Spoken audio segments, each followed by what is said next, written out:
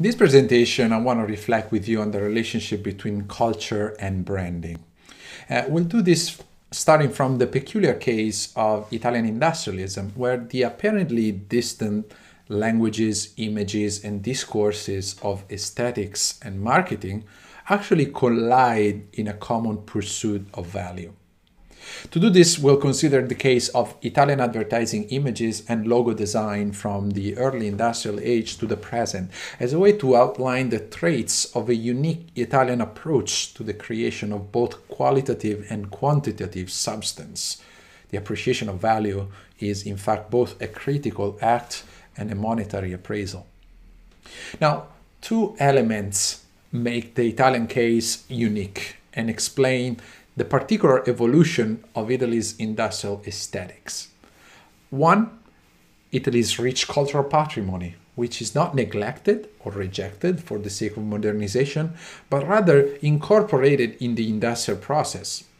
We see this in the famous 1912 ad for Borletti clocks, featuring the time of heritage in the reference to the classical statue of the disc thrower and the modern time of movement and acceleration in the clock that the statue holds. The second element is Italy's belated industrialism. Faced with German, French, British, and American expansion in the global industry in the second half of the 19th century, Italian industrialism was forced to elaborate an element of distinction, which was found in the idea of applying to objects a surcharge of culture, aesthetics, philosophy, from the liberty style of the early 20th century to our present, this model still continues and we'll see why. Now, to give you a sense of our trajectory in this presentation, here is what we'll discuss. First, I'll give you a few remarks on the concomitant notions of branding and culture. Second, we'll see how Italian early advertising constructs through a promotional narrative a conceptual image of the nation's original way to modernity. And third, we'll examine the identity of Italy's industrialism through the logo design of some Italian companies. So, one, what is a brand? And what is branding? According to the HubSpot Academy, which is one of the most valuable available resources on content marketing, a brand is an actual object typically comprised of a name, tagline, logo or symbol, design, brand voice, and more. And it's also an experience. So what, and again, a customer undergoes with interact when interacting with a business as a shopper, customer, social media follower, or mere passerby. Branding instead is, again, I quote the HubSpot Academy, the process of researching, developing, and applying a distinctive feature or set of features to an organization so that consumers can begin to associate the brand with certain products or services. So, an object, an experience, and a process, or rather, an iterative process based on frequency. An object implies a maker. A maker implies authorship, a signature, something that turns bare matter into significant matter, a mere object into a product with specific appeal and desirability. Whether in a book or in any other product, an author augments the value of the object, makes it unique. In the language of fashion, the addition of the distinctive trait of an author is called a griffe. In the language of literature, the distinctive element that separates one author from another or a good book from an average book is called style, from the Latin word stylus, which means pen, underlining the unique way each one of us holds the pen and writes. We talked then about experience, the interaction between producer and consumer.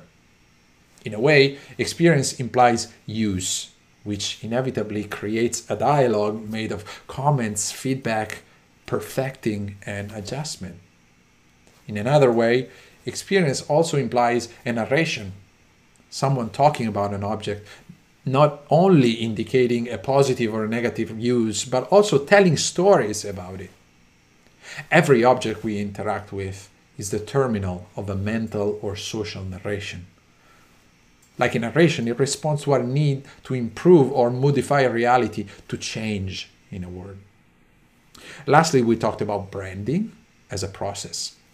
Branding is the path from the actual product, from a discourse on the product, to the creation of its extended value, something that goes beyond a commercial transaction or mere use and report.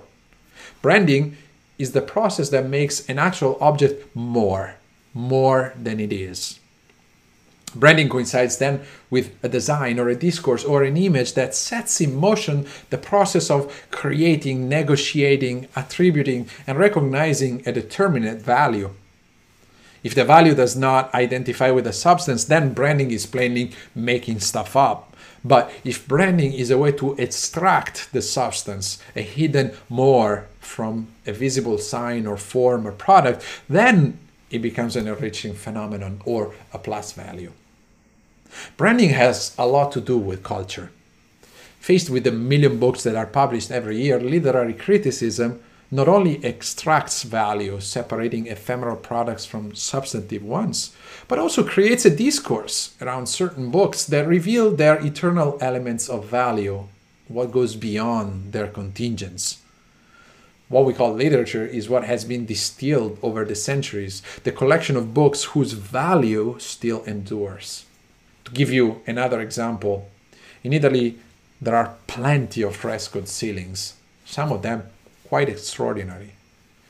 But if the first one that regularly comes to mind, and I challenge you, is not the Carracci's vault in Palazzo Farnese in Rome or Giotto's sky in the Scrovegni Chapel in Padua, but Michelangelo's ceiling in the Sistine Chapel, this is because of branding or rather because of the construction of a discourse around Michelangelo, starting from Vasari's Lives of the Painters and culminating the trajectory of great Italian painters with Michelangelo's stardom and his feet in the Vatican.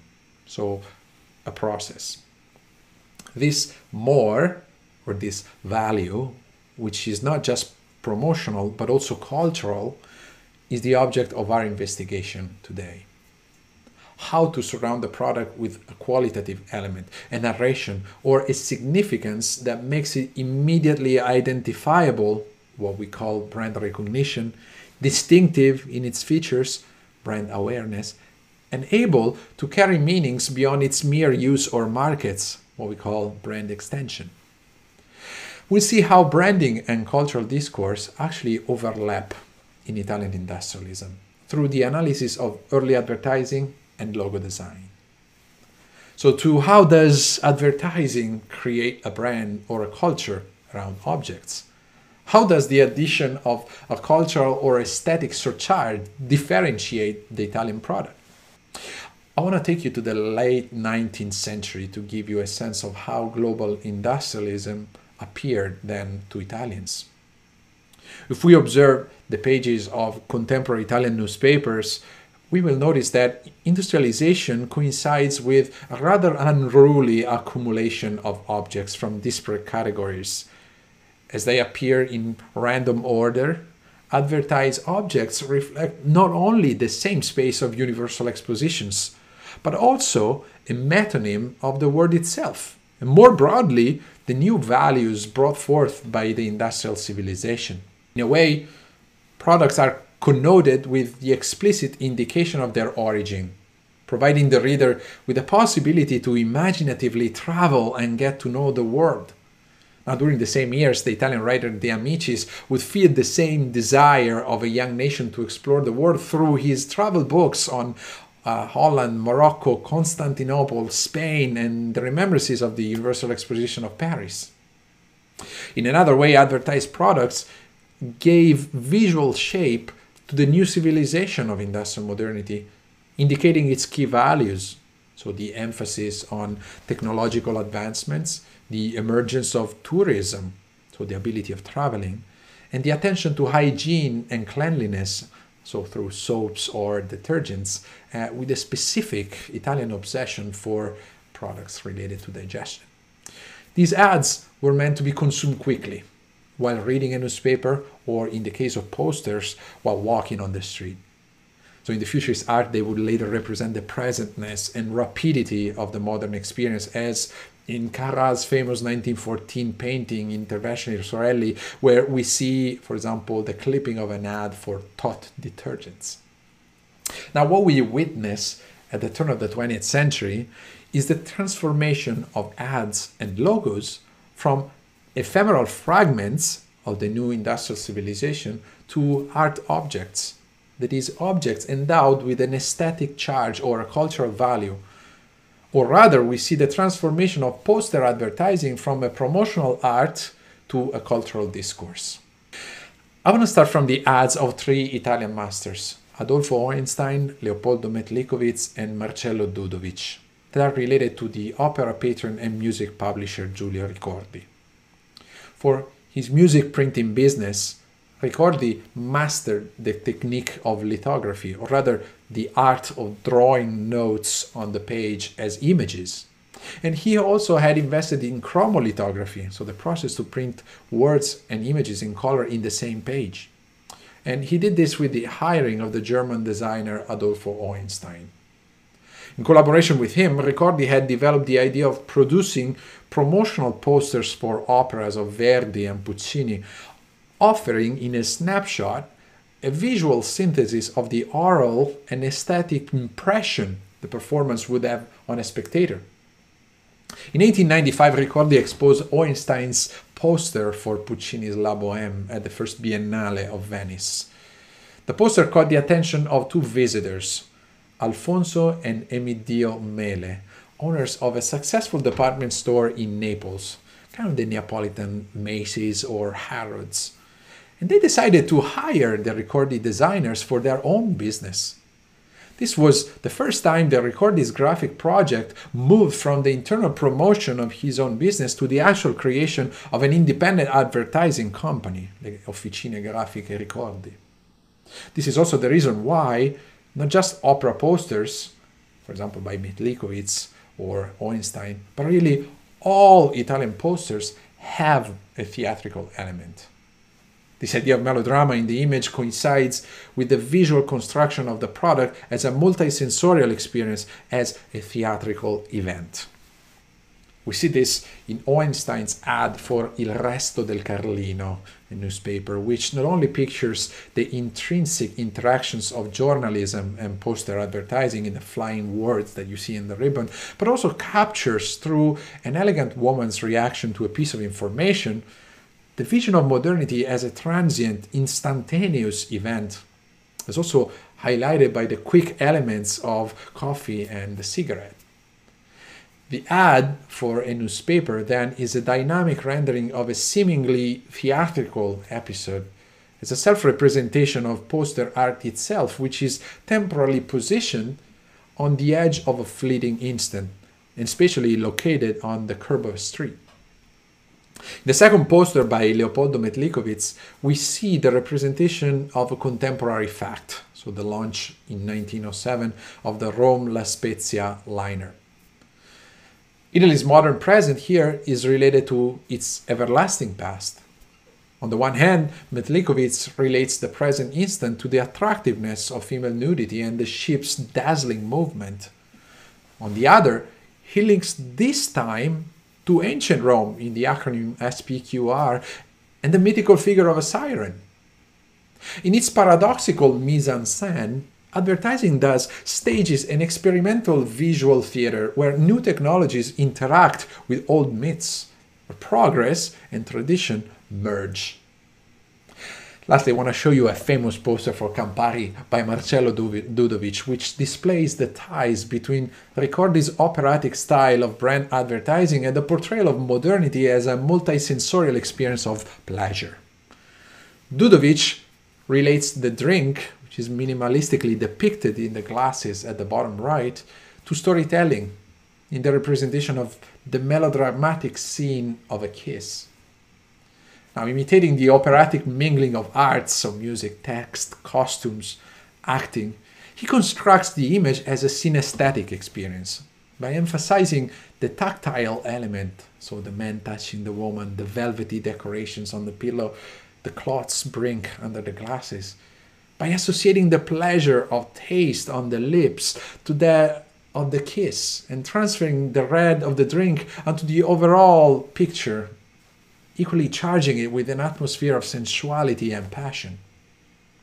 By breaking the bidimensionality of poster advertising, Dudovich thus turns promotional images into a multi-sensorial theater, where products are actors, and the allusions to different sensorial realms or arts concurrently fashion modernity as an all-embracing experience of glamour. We see this also in Dudovich's famous poster ad for Liquore Strega.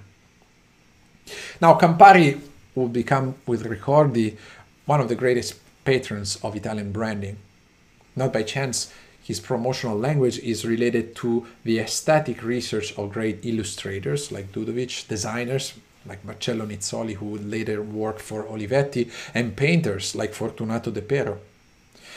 With Ricordi, we saw branding in connection to theater. With Campari, in the case of Depero, we see branding as a promotional language that connects the graphic of letters to architecture, painting to design. The iconic Campari bottle by Depero is a good example of this transposition of languages. The bottle is born of the creative reinvention of a pictorial theme, so the painter's obsession for cones and geometric volumes, which turned into the platform for a graphic transposition or a 3D reconfiguration of a bottle from a cone to a reversed chalice. It was 1932, but Depero's bottle is as new as and fresh as 80 year, 88 years ago. This is art, how art authorizes a product, transforming contingents into eternal livelihood. Now, let me add a note here on branding and the fascist regime.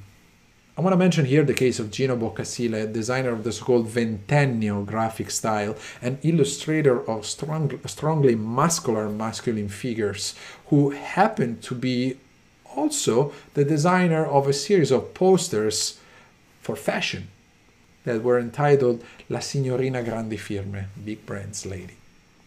In this case, we see that advertising does not coincide with a sole promotional language, but also with a space of freedom and independent fiction, as we see in the image of very emancipated women, which starkly contrasted with the idea of femininity that was promoted by the regime.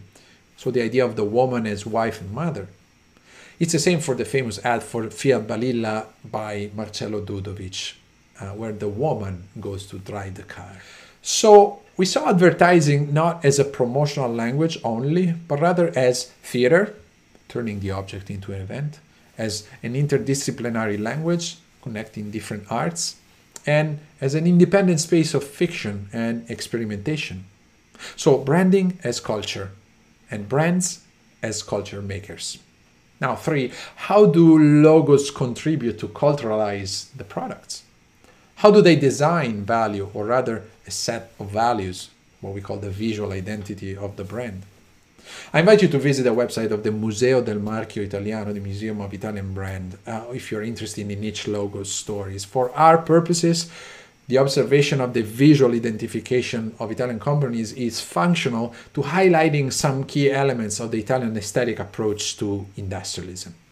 First, in connection with Metlicovitz's representation of a hybrid modernity anchored in the past yet launched toward the future, Italian logos often visualize singularity and difference by way of their connection to the nation's past, seen in relation to artisanal work, as indicated in the continuity with the tradition of pasta making in the De Cecco logo, connection to the classical heritage as evidenced in the font of Bulgari and its placing in uh, near the Spanish steps, or in Versace's connection to the Great Greece, and the connection to heraldic, so as in the coat of arms style of Alfa Romeo.